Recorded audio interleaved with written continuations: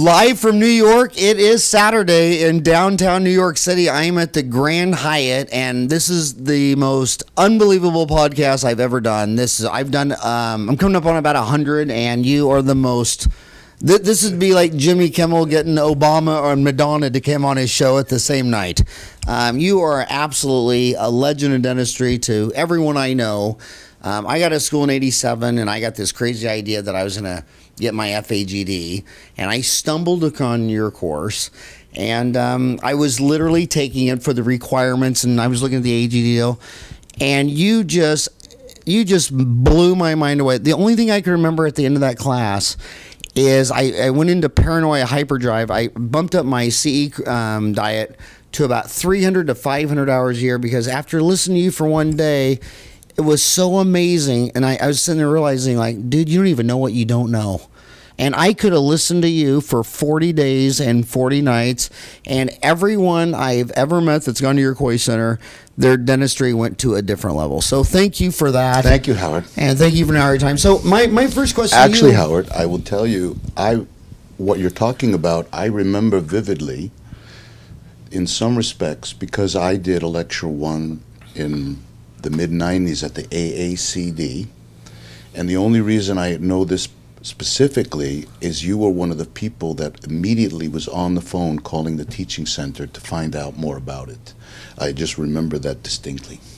Well, so um, next month, five thousand kids are going to graduate from dental school, and when um, so my question is, you know, how does a kid graduate from dental school? Going to end up someday to be as great of a dentist as you. Now, when you got out of dental school, you were telling me you you first did um, a military. Um, was that an AGD? Was that training? Was, Yeah, I was in a general practice residency when I was in the Air Force, and then I was accepted for dual training, and I did perio pros as a dual training while I was in the Air Force. Uh, those were all the, the initial init- education pieces before I left the Air Force. I was in the Air Force for nine years. And so, if a, if a kid's listening to this podcast, he's a senior in dental school, um, would you recommend to her that maybe she should do a GPR? Do you, looking back, was that a good decision for you? Well, for me, it was an in- incredibly good decision. I even being in the Air Force was an incredibly good decision because I had an opportunity to do a lot of dentistry uh, with some supervision, which was already beginning the training and already started to feed my passion for education. It's an interesting question because my son is a dentist. Dean, And he went on to be a prosthodontist and also do his implant fellowship at uh, NYU. And I think these are some questions that we bantered back and forth because people would say, why would he need to go to specialty training rather than just work with your dad? This is what they would say to him.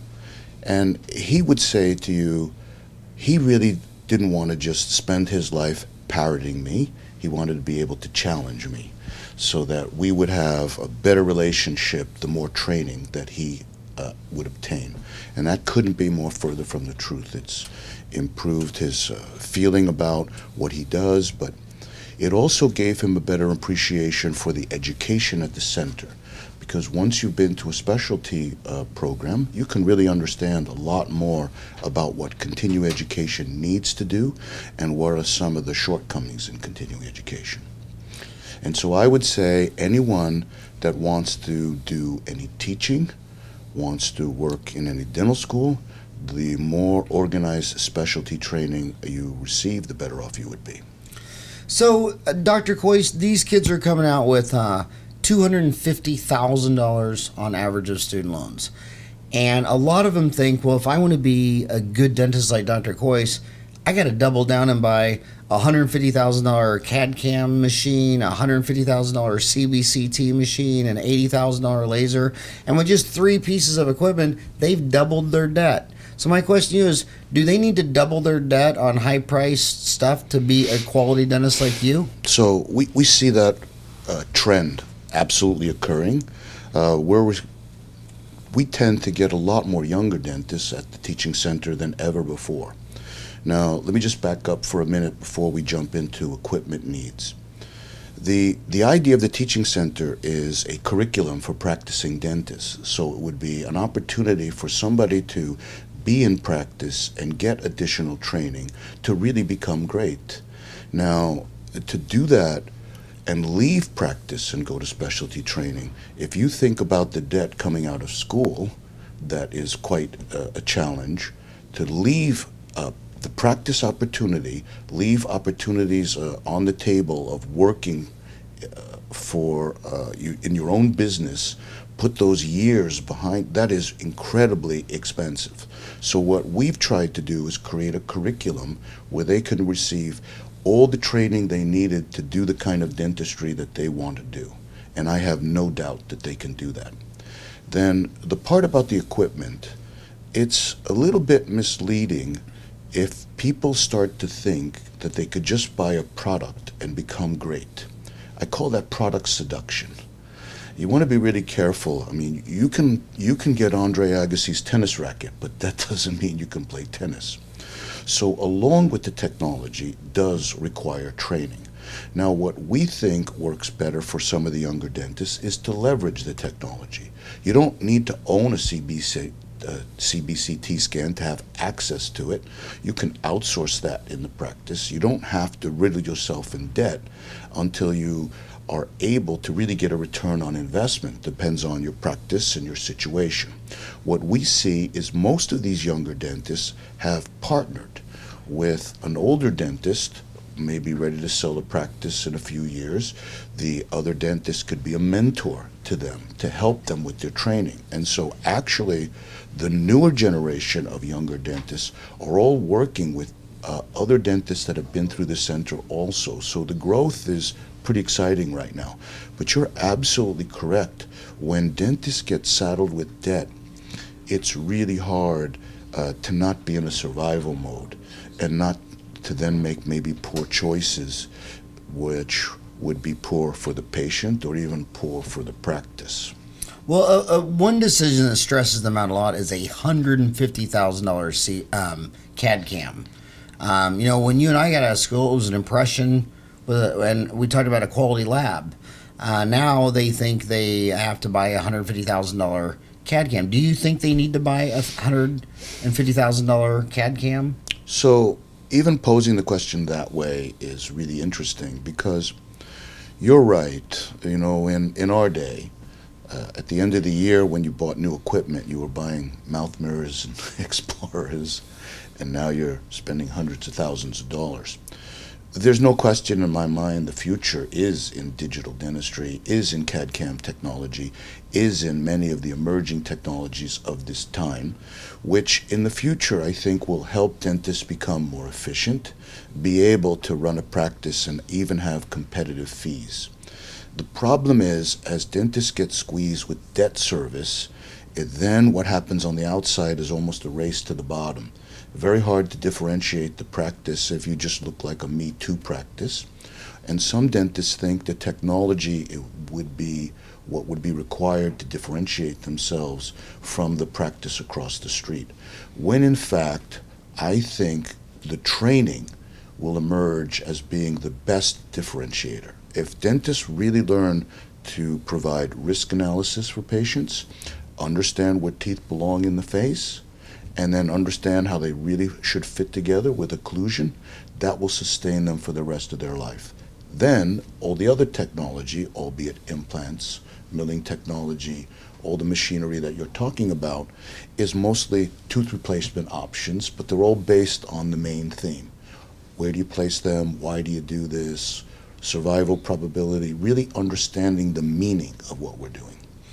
So, Dr. Kois, a lot of these young kids don't realize until they're, you know, I'm 52, they, they don't realize at 25 that they walk in there and they see a new patient and they're pointing to a chipped tooth and they immediately go into making a crown or whatever. And then guys like you, you walk into a room and you, you don't do one tooth dentistry. You don't do quadrant. You, you see the whole big picture.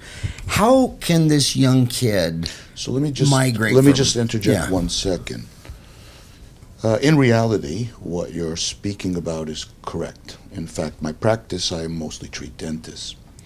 But really, what I think the future is, is to do the one tooth dentistry knowing what's going on in the rest of the mouth so that it's not that you've ignored it it's that actually you've evaluated it and have learned to be able to manage the situation based on a very comprehensive evaluation.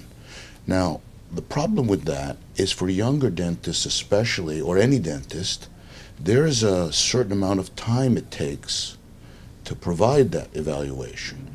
And dentists find a lot of difficulty in getting compensated for that.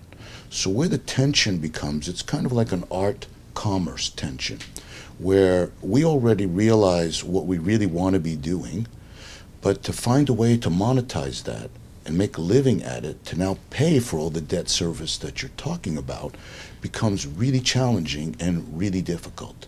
And so we're actually working harder to find ways to have the technology be used in a more global way, a more expanded way. For instance, to buy scanning technology just to do crown and bridge or just to be able to do planning for implants is one thing.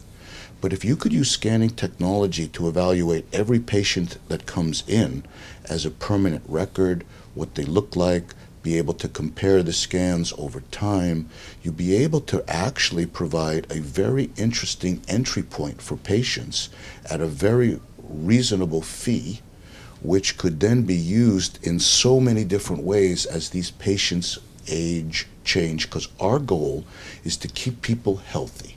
And so, what dentists have adapted or adopted for the most part is a reparative model rather than a wellness model. And for me, I think the real future in medicine and healthcare is keeping people healthy, and that's really going to require the training and the technology to be able to do that effectively. So, are you optically scanning all new patients today? We're starting to do that right now. We are working very hard to have that become a seamless integration so that you can appreciate if now that technology is used on every patient that walks in the practice and now it has a opportunity for that to be delegatable uh, this becomes a really interesting use of the technology which now makes this uh, m- well makes it much more u- utilized in practice and now the dentist can, will find a, uh, the ability to get more of a return on investment Is there any optical scanner that you like at this point? well i work with so many dentists that come to the teaching center and it's really hard to separate what optical scanners are associated with what business strategy you want to use to apply them, uh, what types of technology you really want to do with these tech with these scanners, because really what some of the concerns have been, not all the scanners have complete open architecture, so you can't be talking to a variety of different endeavors to be able to do more and more things. So it's really hard right now because the uh, communication needs with digital workflow is being restricted by the business profiles of many of these companies. So to answer your question, I don't really have a single scanner that I would absolutely recommend.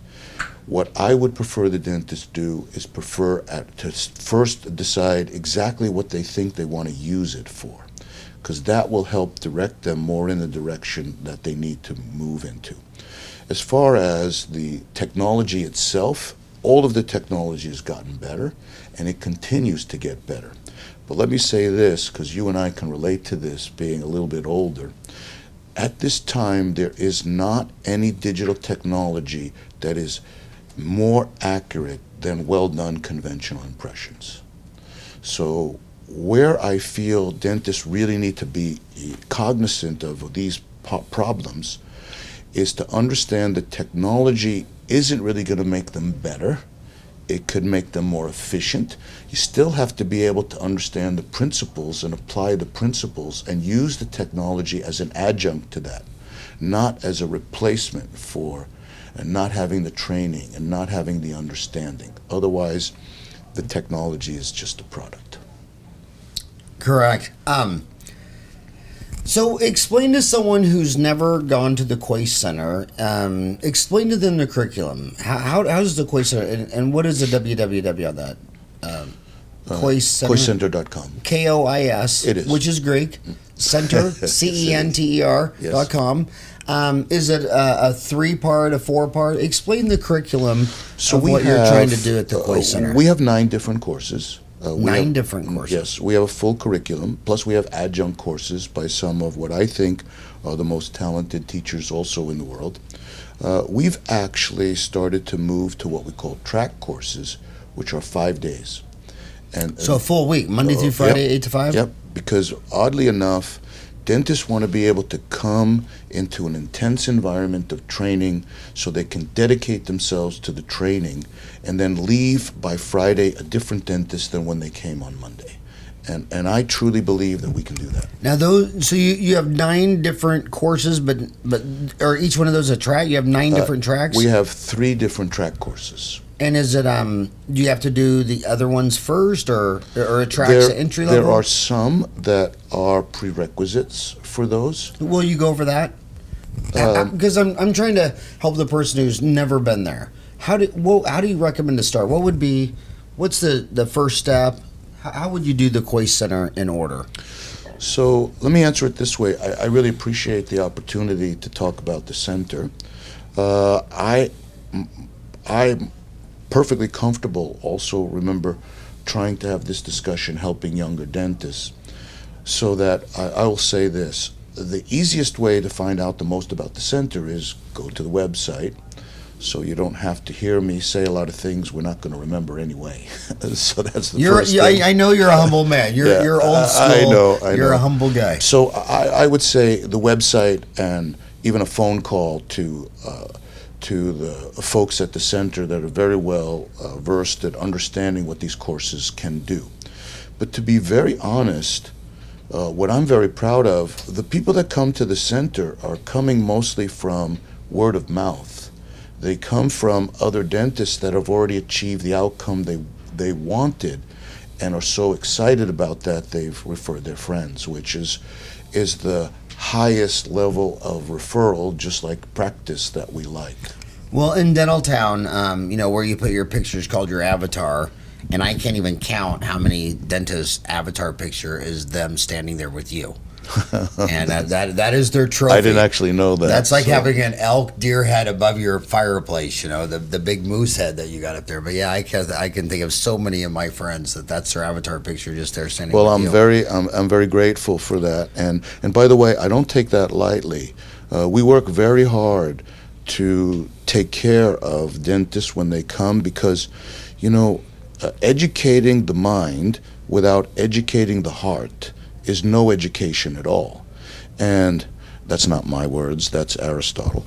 But uh, the point of that. Yeah, another Greek, another Yeah, famous no, Greek. Yeah, I tend, to, I tend to gravitate that way. Uh, but I think the point is, we try to also build relationships with uh, these all the dentists that are coming, and they're part of what we call a tribe, which is uh, akin to an extended family, uh, because to us. It is very serious that we can support each other. That the education at the center, we I say this: what happens in Seattle is not meant to stay in Seattle. It's meant to get back into the practice. It's meant to help other people. Otherwise, it's wasted. So, if we can't have education that's transformational and is only transactional, there would really be no reason to come to the center. So, we're working very hard to make sure we can accomplish that. Okay, Dr. Kois, I want to I want to go into something um, um a, a new patient exam. Um, it, it might be one of the hardest things to really learn in dentistry is the simple new patient exam. Every experienced surgeon says, you know, I'd rather you have a correct diagnosis and an average surgery than the wrong diagnosis and a great surgery. Um, go over an oral exam. What, what, how, is your amazing mind? What, what are you looking for in a complete exam? So the the idea about that is you you realize again that this tension of the amount of time things take relative to the outcome generated from the time. Dentists have to become very efficient at being able to start to make the evaluation fairly quickly. Now, on the flip side of that, the problem when you get very good about making an evaluation quickly, the patients don't perceive the value attribution for all the the intelligence that's been provided. In other words, you know, anybody can have a Panorex or a CBCT scan, but what you what really is the uh, roots of the training is what it means. It's the meaning of the data. And so what I see is many dentists really don't understand the meaning of the data. So that's the first thing. So what the training has to accomplish first is what do you want to achieve? What is the outcome of the exam? Then what we do is we back that up and begin to determine what what would be the minimum data that you would need to collect to get the outcome that you want. Because what I see too many dentists do is they just collect data that is just fluffy data. It doesn't really do anything for them. So what we do is we work the other way around first of all to understand why do I need this this data. Let me give you a perfect example. We all tend to measure maximum opening uh, between the teeth when we're looking at a joint evaluation. And dentists tell me they average it three times to get a number. Well, if you really understood it, you might think about it differently. So let me explain.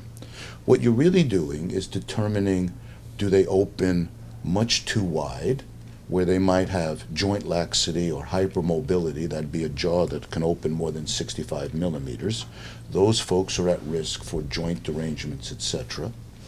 Or do they have a restricted opening, which could be a disc problem or a muscle problem, less than 35 millimeters. So very quickly, what you're really trying to do is determine who's not in the normal range, not trying to get an exact number, because whether you're 45 or 52, it doesn't really matter. So clearly, as soon as you understand it, it makes a big difference. Now, the next part. I could take my three fingers which are roughly about 50 millimeters from one to the other, and I can put them between your front teeth and say open. And if my fingers fit in just like that, Howard, you have normal maximum opening. But the problem is that doesn't really, in this day and age, have very good what I call show quality. If I took a special measuring device and actually measured that that was 51 millimeters, it'd be much more impressive. But it does the same thing. So the idea there's there's a part of this that the dentist does need to be able to have the communication skills, ha- have a little bit of the what I call the show quality, to get the patient to at least understand the value of their examination. Otherwise, most people leave that examination and they just think the dentist shoved something between their teeth or did this. They don't have an appreciation for it. So these underappreciated, undervalued protocols are not going to really help make the practice grow. The patient has to get out of your chair and say, My goodness, I've never been evaluated like that in my life. Now, you'll be surprised. Most dentists already uh, think that that requires a lot of time. Well, the first appointment in most practices is a conveniently broken appointment because the patient hasn't established a loyalty relationship with that practice. So in my practice, you're not going to get an hour and a half appointment as an initial appointment. You may spend an hour and a half in the practice, but you're not going to see the dentist for an hour and a half. There's some entry point with our dental assistant, our new patient coordinator. There is a time for me to do the evaluation. I get 30 minutes, no more than that. And even that, by, by most standards, is, is fairly long. But it's a, an opportunity to do everything that was necessary to build the future in your practice. And by the way, I have more people referred to me from people I've never really treated in my practice because they're impressed with how they're taken care of. Where most dentists are trying to get referrals from the big cases or the aesthetic cases. And, and it's true, it does that. But there's a whole lot more people that are coming through hygiene all the time that have much more potential to be ambassadors for your practice. And my staff is trained to be an ambassador to the practice and an advocate to the patient. And the patients can feel that because we're there for them. And if the practice is not coming across in that way, you don't have the loyalty relationships. You don't have the the practice that you're trying to build based on you. So my preference would be to, to build your practice based on your brain, your intellectual property, and the skill sets will come. Because if dentists are trying to build a practice based on commodities, after a while we all look the same. You know, when people come in, we all have a big chair and we have some kind, either a, a laser or radiograph system. To most, and we have a handpiece. So to most people, we still look the same. And so people have to be very careful. You might have the coolest new technology, but no matter how cool you are, that technology will be out, obsolete sooner or later.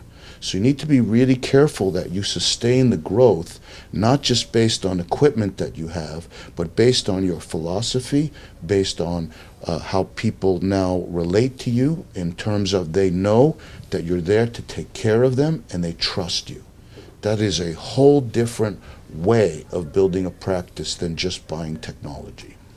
So, Dr. Kois, you're obviously one of the fathers of modern dentistry in America. I wouldn't go that far. No, no, you absolutely, you absolutely It's are. very gracious. So, I want to ask you, um, you, you, you're in this country. You've, you've seen it.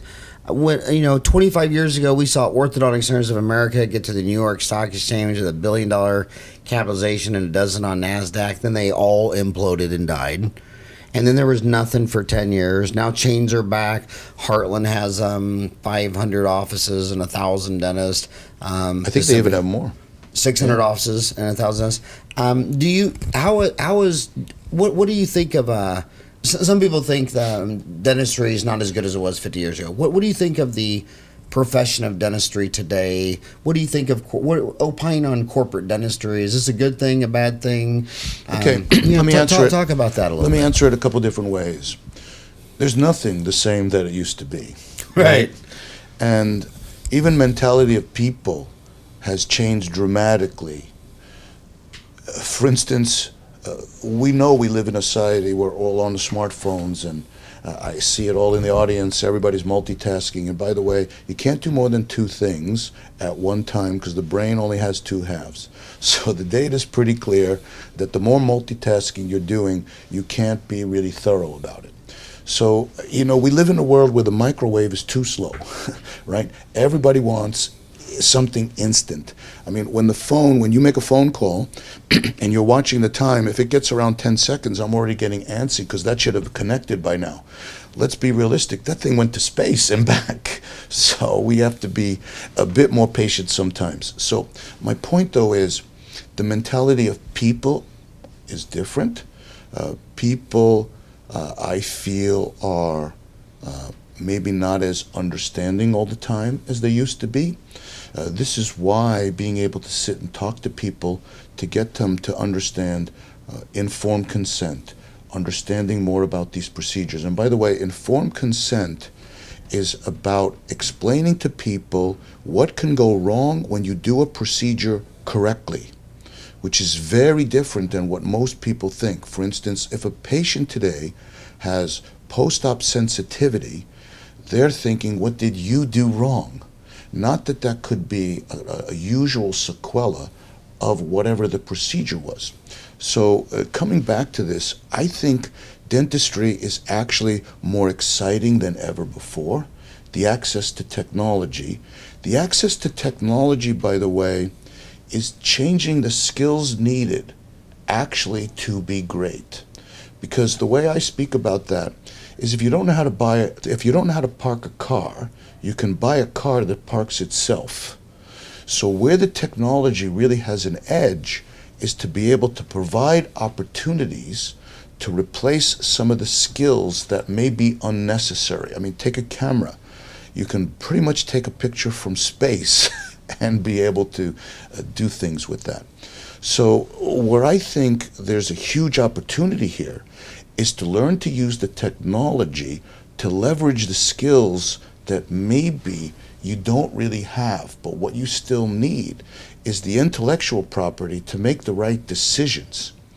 Now that technology can be an incredible asset more than things ever were before. I mean, look at the scanning technology and the ability to create surgical guides to reduce the risks in implant placement. And that's why, I mean, we're here in this symposium. So it has really opened up the opportunity to put many more procedures in many younger dentists. So at this point, I actually think the future is incredibly exciting. The downside is it's also very competitive. The business environment is so different. The, as you mentioned from the opening of the interview, the dentist being riddled in debt and, and being a bit um, almost uh, choking from the debt is not a good feeling. And, you know, it wasn't that different when I started. When I started, uh, when I first bought my practice, interest rates were almost 18%. And the first year in my practice, my adjusted gross income was zero. Uh, the second year in my practice, I still made less than my hygienist. So there's a future out there, and I don't think too much replaces hard work. And, and I think those folks that are willing to put in the work and really do it will become great. I agree. Um, so many of these dental students whine about their $250,000 student loans, and you go through their spending a junior's year. I mean, every spring break they went to Cabo for five thousand dollars. They went on a, a cruise every summer. They drove a thirty thousand dollar Honda Accord. I mean, we I I didn't have a car the first six years of dental school. I bought a car my senior year of dental school and walked the first five years. And when I got to school, we worked a lot of hours. A lot of these kids come out of school two hundred fifty thousand dollars of debt, and they work Monday through Thursday eight to five. I'm like, dude, that's not even a job. that's not even a job. You know, Howard, that's I hear that a lot, but the dentists that come to the center, uh, number one, they're very passionate about what what they're doing and their future, and what I find is many of them are not like that. They actually uh, have a fairly austere lifestyle. I've had some dentists that don't have a television even, and they're paying for education I had one dentist tell me uh, at the end of the year she had $500 extra and she used that $500 to put the deposit on the course. So it is really incredibly inspiring for me to see what many of these younger dentists are actually willing to do to to provide more stability for their future and make a difference in this world. Okay, John, you're at the Megagen Implant Symposium. Are you yourself placing implants? We just I don't place them anymore. Dean my son, them? my son is a fantastic dentist and a fantastic colleague to work with. So we have a wonderful, wonderful time. But he does all the surgery for me. He's a prosthodontist doing, but he'll place them. He's also an implant fellowship. I'm a perioprosthodontist. You're a perioprosthodontist, and you do not place them. Not anymore. And your son? Oh, you used to. At one time. And and your son is a prosthodontist, and he does place them. Yes. And so, um, does he use? Um, let, us talk first about um, surgical guides. Does Dean always use a surgical guide, or what, what are your thoughts on surgical well, guides? Well, working with my cases, uh, uh, I know he's always has the planning technology taken care of, and for the most part, the surgical guide in some way. It, it wasn't always the the, the newer types of surgical guides because we started before we had many of those available. So, uh, but I would say there, there's never an implant being placed without proper planning and without some way of figuring out the direction or how the implant is to be positioned. So, John, it's um, I, I'm my motto is you know, um, with Dentaltown, no dentist has to practice solo again. Um, I thought the internet um, and now the smartphone solves that, that loneliness issue. So most of these people are listening this on their on iTunes on the way to work through their Bluetooth. They're all alone, and there's a sea. Of, I mean, there must be 50 implant companies. Um, nine out of ten dentists do not place implants, so they're like you. Only one out of ten would place them like your son. So as far as um, restoring an implant as a prosthodontist, is an implant an implant an implant? Do you like restoring some systems more than others? You know, starting to move into brand choices and what's available out there is really hard to do something meaningful in, in the short time that we have. But let me say a few things. There is no doubt that there is more hype about some of the differences in the brands than maybe is required.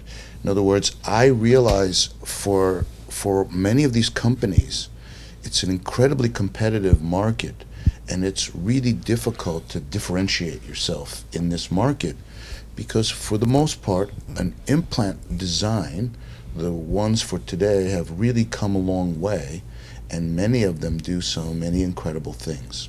So I would say, just to go back, when we started initially with the Brånemark system, we had the oldest type of implant, smooth surface, flat top. I mean, we had very good success. So understanding the biology, the biology about implant management is really key because the brand that you choose is only the last drill, right? The last drill will dictate whatever implant you now pick up. And many of these implants have become extremely competitive and have demonstrated excellent survival capability in the in patients. They all have their share of problems, but I think it's really difficult for many of the dentists to make the choices.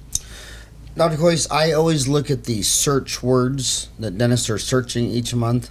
And when it comes to implantology, a lot of search, the, the probably the two most um, popular searches are immediate load and platform switching. Those those can you talk about those two words? Uh, you know, there's those two searches. The between immediate load, platform switch, and do you cement the crowns or screw retain exactly. the crowns? I'm saying, I, mean, I can't believe you beat yeah. me on my own data. That was uh, yeah, that right? okay. yeah. You see better screw, absolutely. It's, I mean, so will you talk about all those three things? So, you know, it, it's interesting because really what's important is understanding the, the limitations and the the liabil- or the liabilities or the assets of any of those options.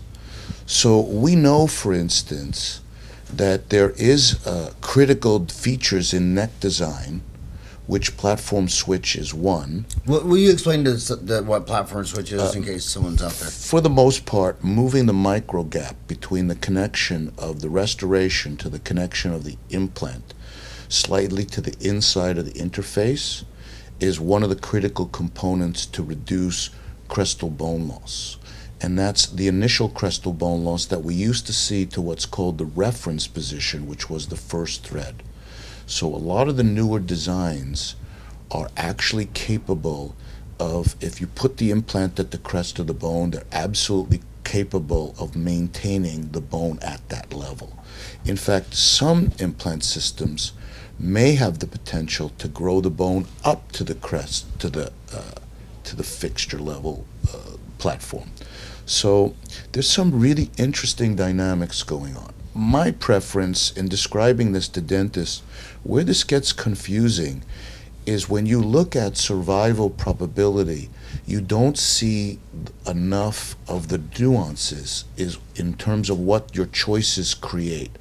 Because you can have an implant that is integrated, is surviving, but there are three, four, five uh, threads exposed, which may have now a consequence down the road for periimplantitis or other liabilities in, in implant management for this patient, for the future of this patient. So we need to be really careful because, to be honest, uh, putting implant in bone that you see at the time of placement has less risks of some of the secondary factors, and there's no question about that. The problem with that, it doesn't expedite the treatment, and it doesn't mean, by the way, that immediate implants are, are potentially not successful because they absolutely are. But again, it comes down to treatment planning and case selection. If you go even to screw versus cement retained, the data actually comparing the two shows minimal to no difference in terms of maintaining marginal bone. And in fact, if anything, the cement retained restorations shows slight improvement. And that seems to be counterintuitive to what the rage is out there. Nothing, nothing absolves us of responsibility. And there's no question there are liabilities and risks in cement retained restorations because a lot of these restorations fit like a tomato on a stick. And getting access to the interface uh, is, is a problem. Not numbing patients up sometimes is a problem because the dentist may be holding back from what they know they should be doing because they're trying to keep the patient comfortable. Uh, there's a lot of reasons that we work through at the teaching center to help dentists at least make better choices. Because believe me, there isn't always an option to not have to do a custom abutment. So to say you're all this or all that is quite frankly a bit silly. Um, I would. Um, the data looks like 95% of the crowns that go to a lab are just one unit at a time. Only 5% are multiple. The data looks like 95 out of 100 implants are placed just one at a time. When we get into multiple implants, uh, the biggest thing everybody's hearing about on the internet or patients coming and talking about is a lot of marketing for um, all on four. Um, do you do you have any thoughts on that, or is that Well- just a brand? Is that marketing? No, no, hype? no. Is there Uh, something look, to that? You know, you know what the buzzword is in the market. It's all on four and none on three, and and you know we've learned a lot over the years. When uh, subsequent to where we are now, eh, we would be doing six to eight or ten implants in an arch, and now we know that all on four is a viable concept. The, the survival probability indicates that's the case. But remember, you're, you're leaving yourself with a very fine line between something that could become a real significant problem, meaning one implant fails and you have a significant failure, Which means none on three. which is none on three. So you're really a bit a bit limited on your contingency options many times. Now, the the gamble would be the implants are so successful that that should happen infrequently, and there's truth to that. Uh, but I would prefer that we're really careful and not just pushing our treatment decisions solely based on business strategies. In the end, it will cost you a lot of money to try to back out of a disaster that you were just trying to expedite treatment in the wrong patient. So sometimes you have to go slow to move fast. And, and, and realizing that is really critical part of what we're, we have to learn. So I'm going to follow right on that. Um, you get a patient, full denture, and they want implant retained, removable denture. What would be your just normal person, 65 year old woman? Um, I, I want implant retained full dentures. What would you do? Six on the lower, six on the upper. What what would you think? Would that depend on? Well, I have cases uh, with four, and they're working beautifully. Uh, I haven't, knock on, I wish there was wood around here. I haven't lost an arch uh, yet, uh, but we're really trying to be selective. Nobody's going to take a patient that is uh, an uncontrolled diabetic, uh, people with active infection, sick people. That is not a concept for sick people. Um, the concept is based on certain levels of health and certain certain availability of bone and the things that really cannot be uh, underscored I mean really emphasized enough are really the criteria that creates the success rate. So sometimes I have to say to a patient because they all ask for this immediate and doing it expeditiously. It's just like the microwave is too slow. And sometimes, you know, we have to explain to patients, you know, Mr. Jones, and I use the Mr. Jones analogy. We have to be really careful here because what may save you four months may create a need to pay a price for the rest of your life. And we have patients where the treatment was expedited, but now they've had several surgeries beyond that to correct other problems. And, and, and, and dentists need to be very careful that they plan their implant placement from where the teeth go in the face, not where the available bone is. And then they come up with a design that will, will handle that.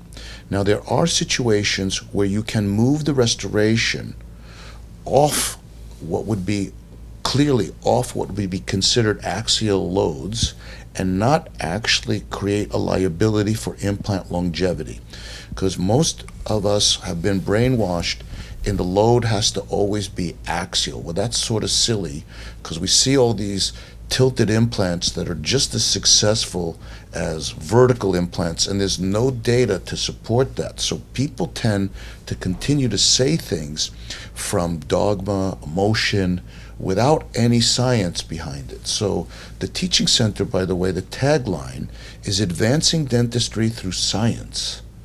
And, and the reason is I don't want people to come to the center to learn some technique that we're doing because then we sort of get tied to it and we don't evolve because some some teaching modalities are teaching based on their technique and so their identity is based on how they did it not the science because as the science changes maybe your technique needs to change well, we are out of time. I cannot believe that you gave me an hour of your time, and this is one of the uh, This greatest actually- highlights. This is actually my, too bad. I'm I'm really starting to get into this right now, Howard. And so it's and, uh, and- really and you're fun. you're about to go on stage. What are you going to talk about today at the Mega Uh, actually, Symposium? my lecture is called Hitman versus Healer.